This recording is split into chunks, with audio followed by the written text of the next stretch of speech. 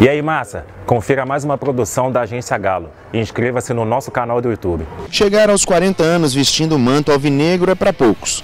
Ser ídolo de um clube centenário é só para alguns. Fazer um gol em final de Libertadores, então, só para quem pode. E Leonardo Silva pode. Chegar aos 40 anos num grande clube né, não é fácil.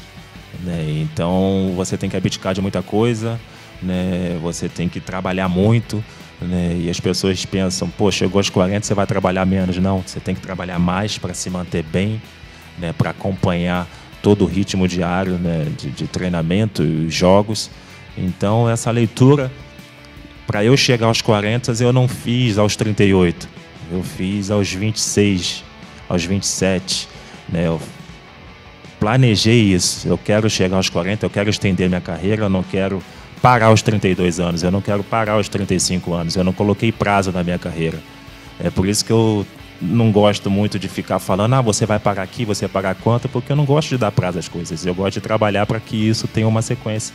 Né? E esse amadurecimento eu consegui durante a minha carreira e trabalhei muito para chegar até aqui e agradeço a Deus por me capacitar a chegar aqui que, e ter o que eu tenho, conquistar o que eu conquistei, a minha família e tudo aquilo que eu consegui fazer aqui no Atlético e em outros clubes também.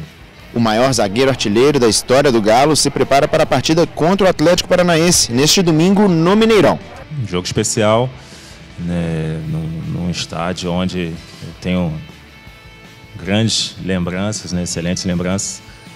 E espero poder escrever mais uma, né, mais uma história, mais um, um jogo com com um placar positivo para que a gente consiga, neste jogo, é, zerar qualquer dúvida, zerar qualquer né, questionamento sobre possibilidades ruins na nossa equipe. Né? Então é um jogo especial e de muita responsabilidade, coletivamente falando, para que a gente consiga dar o nosso melhor ali, eu e Madana substituindo o Igor e o Hever também, para que a gente consiga manter o mesmo padrão para que a equipe se sinta confiante de fazer um grande jogo e a gente consiga a vitória para espantar é, qualquer é, mal que, que, possa vir para que a gente consiga né, pensar em outras coisas nessa competição nesses últimos jogos.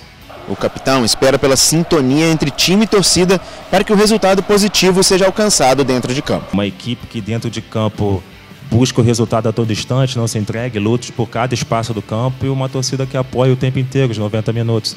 Né, para que a gente, independente das condições e das situações em campo, das circunstâncias, né, o torcedor esteja animado e a gente faça o torcedor se animar também, né, porque o torcedor vê uma equipe em campo brigando, ele vai se animar e vai apoiar o tempo inteiro. E é isso que nós vamos fazer. Eu acho que o jogo contra o Goiás é um exemplo né, de como nós devemos jogar né, durante toda a competição ou como nós deveríamos ter feito durante toda a competição, não só o Goiás, mas o Santos e tempos específicos de alguns jogos, para que a gente consiga nesses últimos jogos aí né, trazer a torcida para que a gente consiga fechar bem essa competição.